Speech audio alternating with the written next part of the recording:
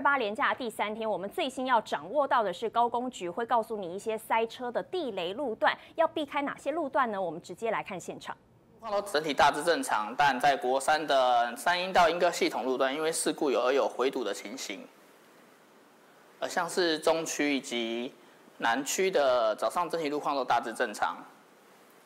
而另外国五的部分，南向的话整体路况大致正常。在北向的部分，像是在头城到平林路段，呃，在稍早时候就有陆陆续续有北返的车潮涌现。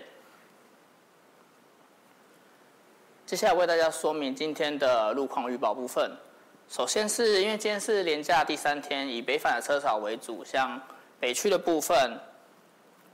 在国一北向的苗栗至湖口以及国三北向的关西至大溪，在下午三点左右会有北返车潮出现。另外，我们也预估国五北向的车潮会一直持续到深夜才会逐渐疏解。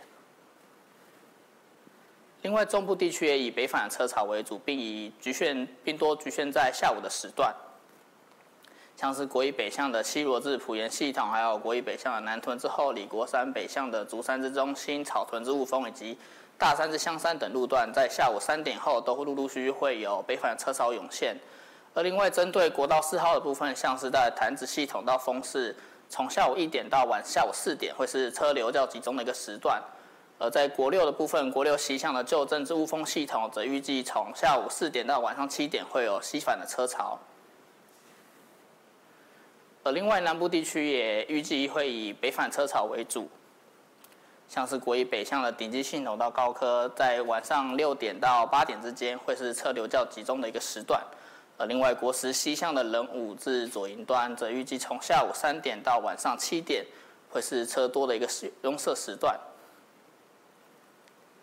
接下来为大家说明今天所实施的疏导措施，像是国一的普盐系统护卫，还有国三西滨的北向路口，从中午十二点到晚上九点有实施匝道封闭措施。而另外高承载管制部分，像国五宜兰头城苏澳。罗东的北向路口，从下午两点到晚上九点有实施限三人以上通行的高承载管制。而另外在费率的部分，像本次廉价采单一费率，呃暂停收费时段为每天的零到五十。前两天好冷，今天看起来有明显的回温。我们来连线气象局的最新说法。真的幅度可能没有特别多，但很快到了周六到周日。又会有另外一波东北季风下来，所以到时候的话，温度的话，北部、东北部又会再度转凉一点。那从周三四开始的话，到周六这段时间，大致上是比较偏向东北季风的天气形态。那水汽上比较没有特别多，所以清晨的话，可能都会有一些辐射冷却的效应。所以在周四到周六这段时间的话，清晨的话，在西半部的低温可能都还是比较偏低一点，大概都还是只有十四度上下的一个温度哦，所以。利润差在未来一周中南部都会比较偏大一点。那北部地区在周四之后的话，白天的高温大致上都会掉到在十八、十九度，白天的话也是比较偏凉、偏凉的一个形态。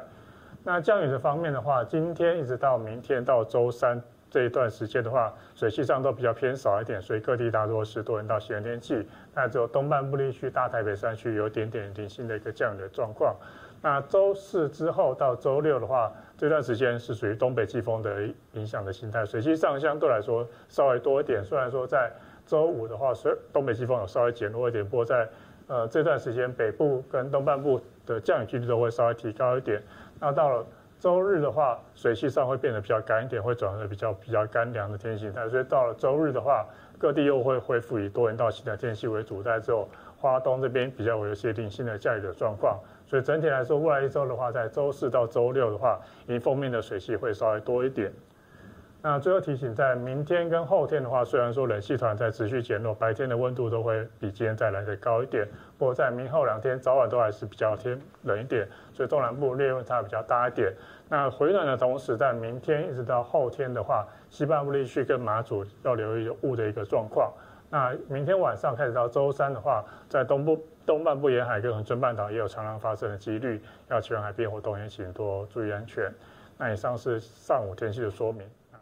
感谢气象局的最新说法，我们来看一下，在南台湾，因为水情仍然是非常的吃紧，而且会不会持续恶化，就要看老天爷有没有赏饭，有没有来降水了。因为根据今天水利署的最新统计，在台南市的水情灯号是已经亮起了黄灯，进入减压供水；而在嘉义县市还有高雄市，则是亮绿灯的，是水情提醒，是不容忽视的。而在这个部分，行政院副院长郑文灿对此就表示说，三月一号将成立立。中央的旱灾应变中心来应对在南部缺水的状况。另外，气象专家贾欣欣他也指出了，根据欧洲展旗模型的预报显示，在三月二十三号、三月二十四号，中南部会开始有下雨的机会，有可能缓解水情吗？不过详细的状况还是有待观察。我们来帮大家科普一下喽，水神跟病毒或家中的细菌作用之后，就会还原成水，不会残留，也不会污染。如果家中呢有银发族、有儿童、有孕妇，都适用。